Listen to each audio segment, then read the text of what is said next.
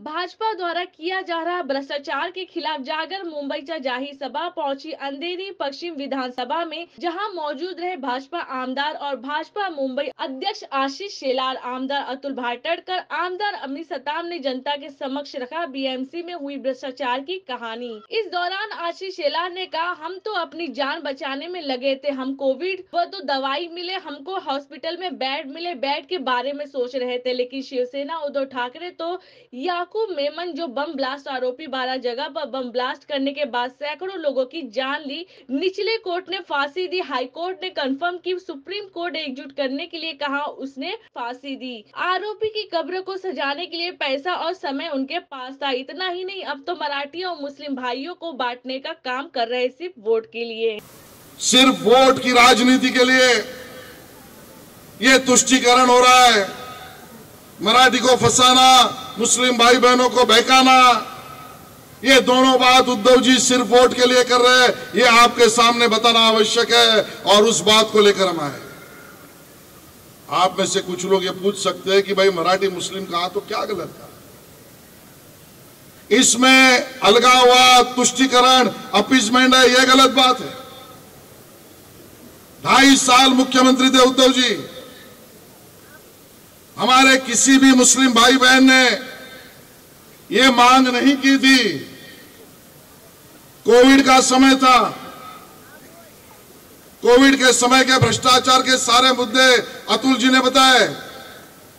हम तो अपनी जान बचाने के लिए लगे थे। हमको कोविड न हो, हुआ तो दवाई मिले, हमको हॉस्पिटल में बेड मिले। बेड के बाद अगर हम अच्छे हुए तो क्वारंटाइन में जगह मिले। अपनी तकलीफ़ तो जान बचाने की थी भाई साहब। उद्धव जी की चिंता थी। मुख्यमंत्री इस नाते आपकी मेरी जान बचाना इतने तक नहीं थी। ना किसी ने मांग की थी, ना किसी का विषय था।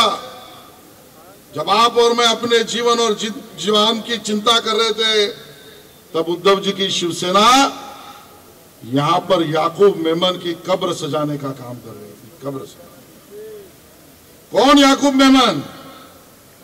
जो बॉम्ब ब्लास्ट का आरोपी, बारह जगह पर बॉम्ब ब्लास्ट करने के बाद सैकड़ों लोगों की जान ली। निचले कोर्ट ने फांसी दी, हाई कोर्ट ने कंफर्म की, सुप्रीम कोर्ट ने एग्जीक्यूट करने के लिए कहा। उसको फांसी दी, उस आरोपी की कब्र को सजाने के लिए पैसा और समय उद्धव जी आपके पास था। क्यों? सिर्फ़ वोट की राजनीति के लिए? आप में से कोई पूछ सकता है, ये तो पुरानी बात है। उस पार्टी का अगला कार्यक्रम, ये मराठी और मुस्लिम भाइयों को बहकाने के लिए किया, इसका पुरावा क्या है? अतुल जी, उद्धव जी के पास आजकल नई चांडाल चौकटी है। उसमें से एक को आज मैंने शुभकामनाएँ दी। यूट्यूब चैनल खोल रहा है। निखिल वागड़े और उसके सहकारी। एक हफ़्ता नहीं हुआ 22 अक्टूबर को यह न्यूज़ आने के बाद सात दिन में निखिल वागड़े और उनके लोगों ने कार्यक्रम शुरू किया। उद्धव ठाकरे जी को मुंबई महापालिका को जीतना है तो आसान तरीका निकल आया।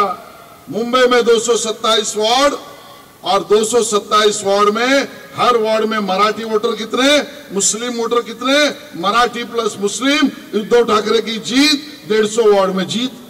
आप हिंदुओं में भी बंटवारा करना चाह रहे हो, मुसलमानों को भी बहका रहे हो, मराठी को भी फंसा रहे हो।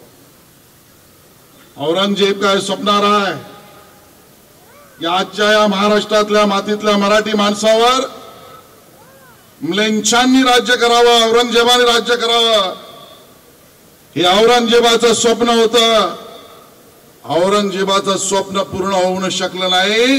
कारण तुमचा माझा बाप छत्रपती शिवाजी महाराज आजही आपल्यामध्ये प्रेरणेतना जिवंत आहे.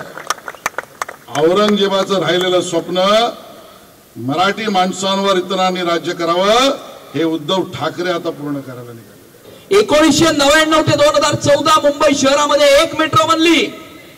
अंधे वर्षोवरती घाटकोपर एक मेट्रो त्या पाच वर्षामध्ये देवेंद्रजींनी दोनशे छप्पन किलोमीटरच्या मेट्रोचं काम सुरू केलं. आणि यांचं सरकार आल्यानंतर ते काम कसं बंद पडलं होतं? आणि गेल्या चार महिन्यामध्ये आता तुम्ही बघताय की कसे धडाधड सगळे पिलर उभे राहत आहेत. त्या पिलरवरती सगळं आता ते वरचा स्लॅब पण येतोय. अंधेरी ईस्ट ते दहिसर ईस्टची मेट्रो पूर्णपणे पुढच्या तीन महिन्यात धावायला लागेल. आणि मी तुम्हाला सांगतो की दोन हजार सव्वीसमध्ये दोन हज़ार सव्वीस पर्यंत मुंबई मेट्रोपॉलिटन रिजनची दोनशे छप्पन किलोमीटरची मेट्रो असेल कोस्टल रोड असेल वर्ली ट्रान्सहार्बर लिंक असेल नवी मुंबई इंटरनॅशनल एअरपोर्ट असेल या सगळ्या गोष्टी या सुरू झालेल्या असतील. जिस तरह से जागर मुंबई सभा के दौरान ये कहा गया है कि समाज को बांटने का काम किया जा रहा है तो ये तो विपक्ष भी आरोप भाजपा पे लगाती है कि भाजपा ही धर्म की राजनीति कर रही है। नहीं विपक्ष भाजपा पे आरोप लगाती है लेकिन अभी उसमें कोई सच नहीं है लोगों को मालूम है। लेकिन जो शिवसेना खुद को हिंदुत्ववादी कहती थी और आज भी कहते हैं, उन्होंने ऑन रिकॉर्ड ये बात कहकर अपना रवैया साफ़ ज़ाहिर किया है। और इसके लिए हमारी चुनौती है कि रास्ते के ऊपर वोट मांगो, गड्ढे मुक्त रास्ते हमने दिए, हमने पानी पर्याप्त दिया, हमने मुंबई का कचरे की समस्या हल की, और इसके लिए वो कोई उनको बताने के लिए बात नहीं है। इसके लिए इस प्रकार की घिनौनी बात वो कर रहे हैं। अतुल जी भाजपा अतुल जी 25 साल बीजेपी और शिवसेना आप भी साथ में थे। तो ये भ्रष्टाचार कह रहे क्या? उस भारतीय जनता पार्टी तो एक बहुत माइनॉरिटी में उसमें थी। पहली बात तो कभी भारतीय जनता पार्टी का मेयर नहीं बना। तीस साल में सत्ता में थी। मैं मेयर नहीं बना स्टैंडिंग कमेटी का चेयरमैन नहीं बना। और इसके लिए भारतीय जनता पार्टी तो एक छोटे दल के रूप में थी। और इसके लिए यदि उनको ऐसा लगता है और वो ये कहते हैं तो वो उसका हिसाब करें। तो कैग का ऑडिट हमने बोला है तो उसको विरोध क्यों कर रहे हैं वो?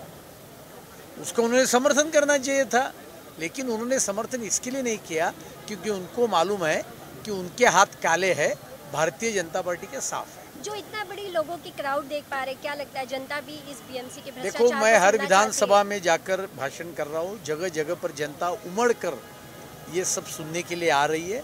साफ़ दिखता है कि मुंबई कर जनता के मन में बहुत बड़ा आक्रोश है। लाखों करोड़ों रुपया खर्चा करने के बाद हमको गड्ढा मुक्त रास्ते नहीं मिलते। मेट्रो का काम जो चालू किया था, वो उद्धव ठाकरे जी ने अहंकार के लिए पुत्र प्रेम के कारण रुकवाया। दस हज़ार करोड़ का ज़्यादा खर्चा मुंबई कर जनता को अभी भुगतना पड़ेगा। और उसके लिए मुझे लगता है कि मुंबई कर जनता को अभी इस बार बदल चाहिए, बदलाव चाहिए।